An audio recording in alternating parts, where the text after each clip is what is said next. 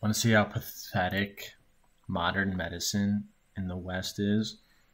Um, the CDC, your government overlord, the ones under the guise of corporate agendas, state that they don't have any drugs that they created that can control a fungus called Candida. So, Candida aurora, a, a urus, a year is. There we go. So, me knowing things, type in essential oil. And there you go. Just get some lemongrass, get some clove bud, and some cinnamon bark. Antifungal activity in vapor phase. All right, you're done. Job's done.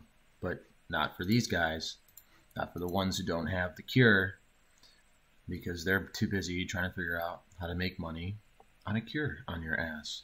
And they will tell you, go grow some clove. You know, go grow some lemongrass. Or why not just, you know, get some cinnamon bark? Why not? No, it's how pathetic. It's how pathetic this is. So pathetic. All these articles, all these people pushing this information, you're all pathetic. Pathetic people. Really? You lost all your power.